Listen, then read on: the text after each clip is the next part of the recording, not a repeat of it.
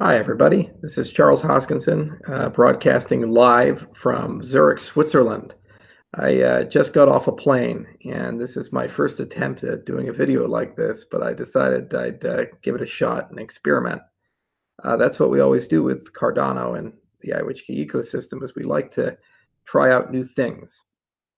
So the purpose of this video is to discuss briefly a few things about Cardano, where we're currently at, where we're going, and uh, just provide the community an update on some things that we're thinking about.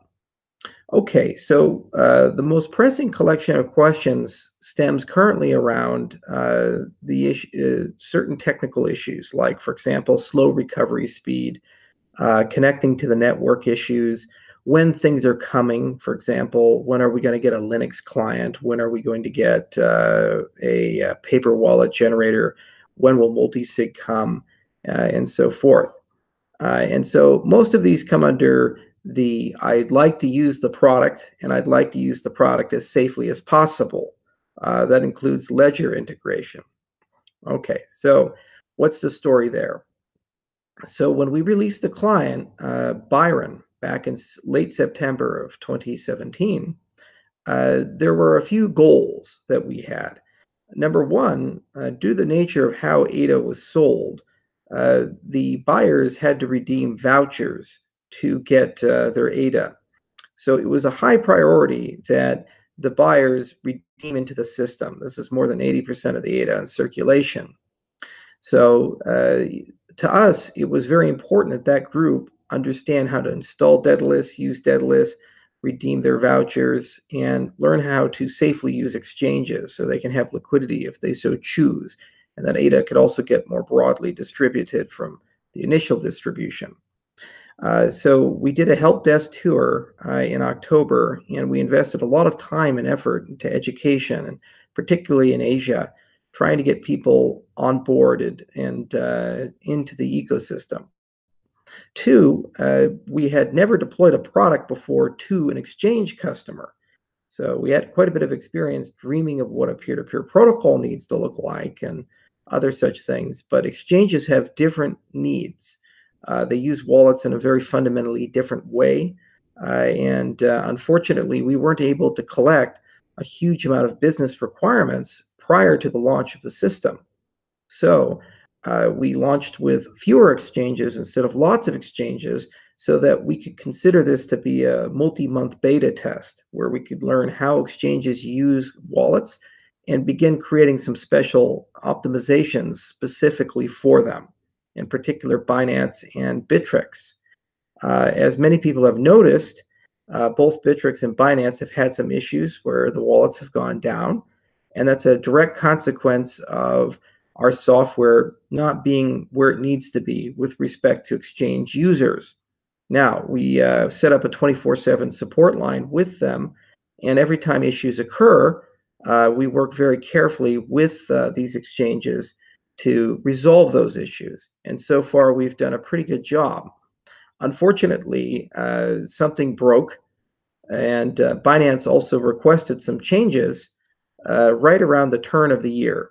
So uh, during Christmas time and New Year's Eve, when most of our personnel were on vacation, uh, the wallet needed some maintenance.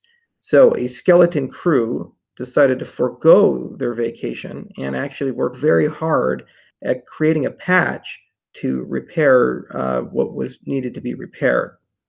Uh, now, this was a process uh, because you can't just write code, you have to run code through QA and that even after you've created a patch, uh, it takes two to tango. So the patch had to be shipped to both Bittrex and to Binance. Uh, my understanding is that uh, Bittrex is fully operational again, and that uh, QA and patches have been approved and are working properly. Uh, with respect to Binance, they've requested a new API, namely batch processing of transactions. And our engineers are currently working on this, amongst other things. And uh, our hope is very shortly uh, to be able to get everything there back online. But uh, overall, the lesson has been great. We've collected enormous amounts of data from the use of these nodes, including network traffic and uh, how they do withdrawals, how they do deposits. Every exchange is a snowflake. But it's greatly informed our engineering efforts. And we've decided to create a dedicated work stream and assign dedicated personnel specifically to improving that experience for exchanges.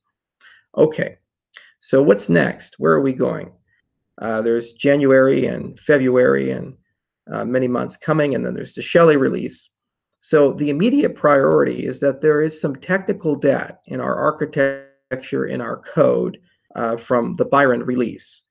And we've been working towards reducing that debt in parallel to finishing the specifications for Shelley uh, and starting new code work for Shelley. So what we've decided to do is enhance our resources and work very carefully at uh, accelerating the technical debt reduction. So our goal is to get most of that technical debt in the architecture completely removed by the end of February with the hope of shipping a patch that will dramatically improve things for some users uh, by early February and a follow-up patch sometime in early March uh, that will continue those improvements. And we're going to leave a dedicated team to do technical debt reduction for the Byron code base. Uh, this will not interfere with the shipping of Shelley, we hope, and uh, we're going to bring a new company on board specifically to accelerate things so that we can leave key core personnel in, uh, in the Shelley work streams and uh, continue our march towards launching Shelley. So as a user uh, in the coming weeks, expect to see a patch uh, issued to the edge nodes probably early February is our hope. In addition, we are beginning preparations for the first Shelley testnet. Now, our hope is to launch that Shelley testnet sometime in early February to mid February. This could be done sooner or later. It just depends on a variety of factors on the DevOps side. And we're working real hard at um, getting that out as quickly as possible. Now, once we do some API rewrites, once we do a technical debt reduction, it's going to become very easy for us to then deploy new features in a rather systematic way in the feature pipeline that I prioritize, I prioritize the safe storage of Ada as the highest priority of features for the moment. And that includes cold storage options such as uh, cold wallets, uh, so like paper wallets, and hardware wallets as well. And that also includes multi-sig support for Daedalus. Um, the only caveat to this is that for Ledger, uh, the hardware wallet partner we have, uh, we're working with a third party firm named MetaLayer. So while we have control over some of the development process and progress, ultimately there's code that has to be done on the Ledger side uh, through MetaLayer. And so we can't make a firm guarantee that that's going to ship at a certain date because we can't promise for third party contractors when they're going to finish things and uh, how they're going to prioritize things. But we've told them that this is a very high priority. It's something that the community desires. And we're going to work real, real hard at trying to get that out as soon as we can because we understand there's a very strong community demand. In addition, once we've reduced the technical debt, we've redone some of the remedial work and cleaned up the APIs a bit. Uh, our hope is then to onboard a much larger set of exchanges. Uh, it would be problematic to do so now because of the unique support nature of where we're at. Uh, but our hope is towards the end of the month that this work will be concluded for the exchange work stream, in which case we have several exchanges waiting in queue that would like to list Ada, and uh, we can work with them directly to get that done as quickly as possible. So that's one of our goals. Okay. Now, uh, there's a few other things in, in the house cleaning section that we'd like to resolve. For example, easy submission of logs is something that slipped the Byron release. It was something I really wanted to get in, but unfortunately, software is software, and occasionally you have to cut it somewhere. So what we decided to do was to um, cut uh, some sort of easy submission to log uh, and put it for a later release. So my hope is to get that feature out sometime in February. What it basically entails is something in the GUI of Daedalus that will allow you to submit logs directly to us without having to go through the uh, daedaluswallet.io slash FAQ process that we're currently using. The purpose of this is we would really like to get a better understanding of how and where our users' clients are failing. At the moment, um, we are requesting everybody who has an issue send us their logs and we try to work with people. Unfortunately, the vast majority of users who are experiencing issues for whatever reason, either competency or time, uh, have not decided to send us logs. In particular, with the connecting to network issue that has cropped up for a minority of our users, uh, this is becoming somewhat problematic. Uh, we have some ideas on what could be causing these issues, and we have some ideas on how to resolve these issues, but these are hypotheses until we actually get logs and we can hunt down these things. So we're left with a guessing game where we can clean up some code and make some changes, issue a patch, and see if that resolves the problem. But we don't actually know 100% if it's going to resolve the problem until we see the user logs. So uh, our hope is to make as soon as we can it as easy as possible to submit logs to us. In the meantime, if you are experiencing an issue, please, please, please um, submit logs to us because it will allow us to resolve those issues more quickly and also have a higher degree of certainty that they actually have been fixed. There are a few things I'm not happy about. Um, I'm not happy about how long it takes to recover the wallet. Uh, the reason being is that it does an entire traversal of the blockchain to recover all the history of the wallet from the very beginning. There are many ways to optimize this and improve the user experience, and we've made this a priority because some of the users who have been uh, using the Daedalus wallet when they enter recovery mode with the seed uh, think that the wallet has frozen and it actually hasn't frozen. It's just taking quite a bit of time to recover because it's doing a full blockchain traversal. Uh, and then they shut the wallet down, it stays in recovery mode, and it causes all kinds of havoc. Uh, so we'd like to speed that up a bit so that the user experience is much better. So that's in the house cleaning department. Um, so uh, there's a few other things that we're working on under the hood to try to make the Daedalus experience better uh, a few other things we're working on to make the code much more concise and clean in certain areas that just didn't get where they needed to be during the Byron release. Uh, and our hope is that in the coming weeks, we're going to be able to chip away and hammer uh, this until it's uh, finally polished and finally made. Uh, most of the IOHK team will actually be meeting up in Portugal, Lisbon uh, this month. And so we will have a giant in person hackathon uh, and this will definitely uh, uh, accelerate some things for us, and we can definitely get some things done. Okay, so that's a brief update on some of the technical issues and some of the exchange issues. Uh, I am sorry that this has caused some pain and some sadness. Uh, and I am sorry that there's been a lot of bugs that have uh, caused some usability issues and not made Ada as optimal as it can be. Uh, we are aware of them and we are working really hard. The team has over 25 people working full time. There are project managers. Uh, we have meetings every single day. And in many cases, people have foregone their holiday vacations uh, and time with family to be here for the ecosystem and work hard. Uh, as for other things like the Linux wallet, uh, that's one of those things that uh, we just have to make a lower priority until other things like technical debt, for example, have been reduced. But it is something that I really would like to get out. We have a great Linux community. We actually use Linux as our development platform. We love NixOS and these things. Uh, so it's a shame not to have that where it needs to be. And so for me, it's uh, very important that uh, we get it back to that. Okay, so that's Byron, and that's Byron for the next two months expect things to gradually get faster, expect the uh, connecting to network issues to start receding, expect patches coming in February and in March, which will dramatically improve things, expect more exchanges coming, uh, and uh, we're certainly going to work real hard. Now, once the great cleanup is done, uh, then the next step is to gradually roll out Shelley features. Uh, so there are many work streams for Shelley uh, from delegation and stake pools to enhancements to the network. The highest priority is to begin the process of getting uh, people who want to run stake pools into some sort of uh, Slack channel or forum that we can have a direct communication with them.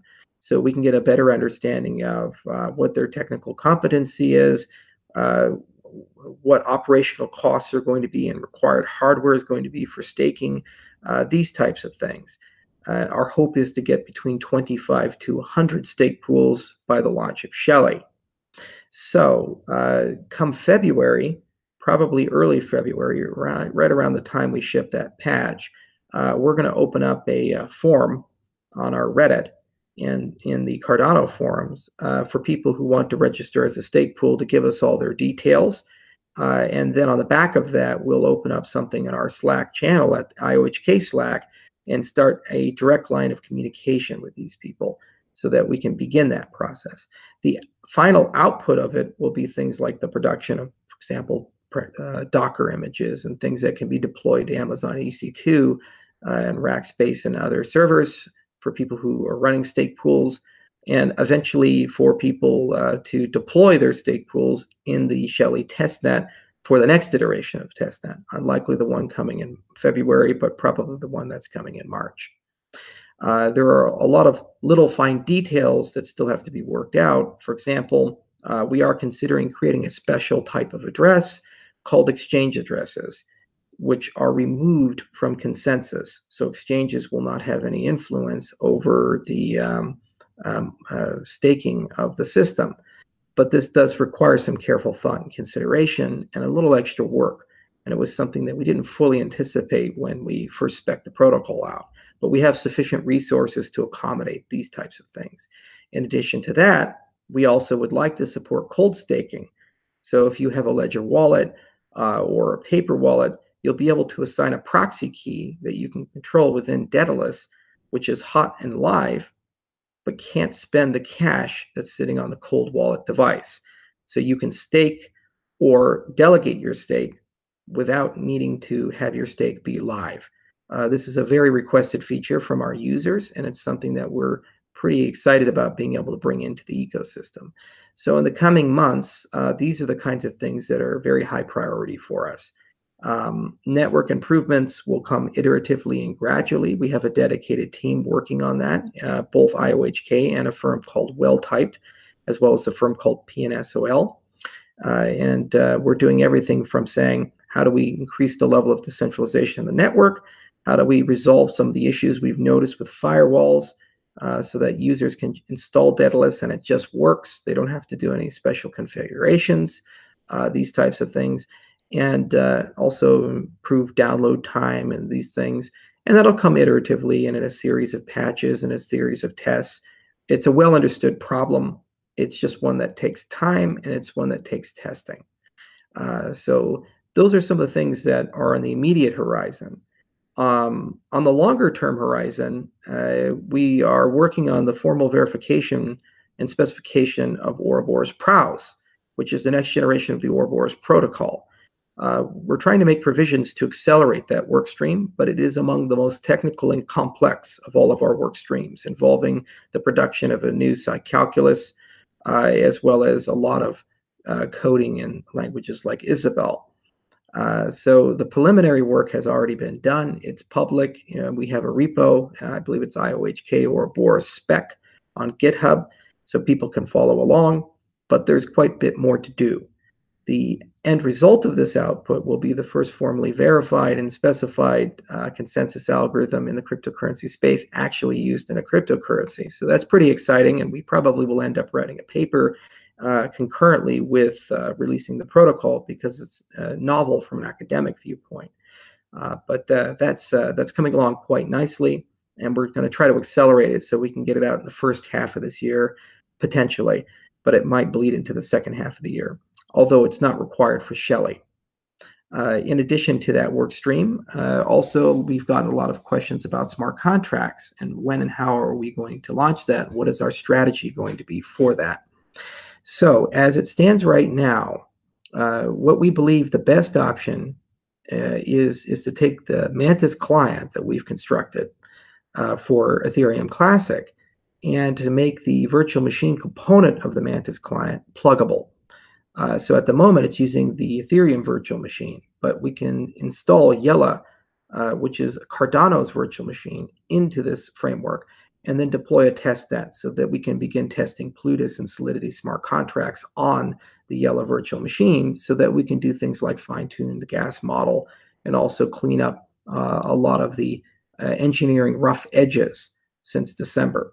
We're coordinating very closely with a firm named Runtime Verification on this, and we're expanding our commercial relationship with Runtime Verification, which will include a considerable expansion of their team. Uh, currently, they have eight people, and our hope is to more than double the size of that team over an arc of a few months.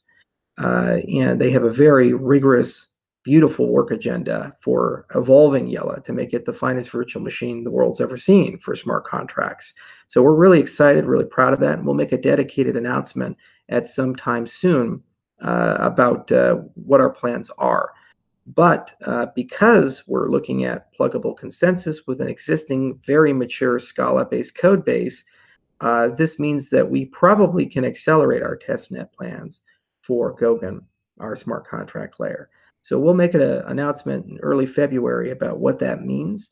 But our hope is to get things sooner rather than later because a lot of people really do want to start writing some smart contracts and testing software, uh, and they're fairly excited about it. There's still a lot of work that would need to be done to link Cardano CL and SL together. Uh, for example, we have to finish some of our specification work for our proof of uh, proof of stake protocol, uh, so the sidechains connection point, as well as some things about how we wish to handle merge staking and so forth. And that's actually one of the reasons I'm here in Switzerland. Uh, I'm attending a conference called Real World Crypto, but it's also a great opportunity to meet up with all of our scientists and have a discussion about some of the final things that need to be uh, done in that respect. Um, so very exciting. A lot of research work streams are moving along. Uh, our smart contract layers moving along quite well, and we're pretty happy with the status of things, and we're pretty happy with how things are working.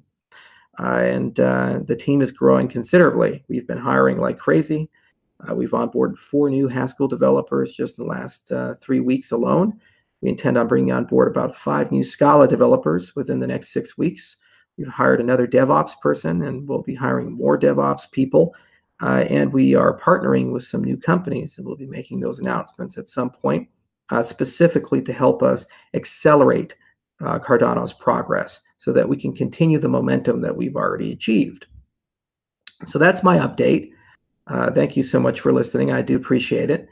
And uh, and my final thing is that I'd like to thank all the members of the community for their incredible patience. I um, I understand how difficult this is. We live in a space that tends to measure things in terms of days and weeks, uh, and most of our competitors tend to deal with forked code. So they don't start from scratch. They start from Bitcoin, or they start from Ethereum, or from NXT, or from BitShares, and they work their way from there which means a lot of things have already been solved. For example, people can connect to the network fairly reliably, and the wallets tend to work.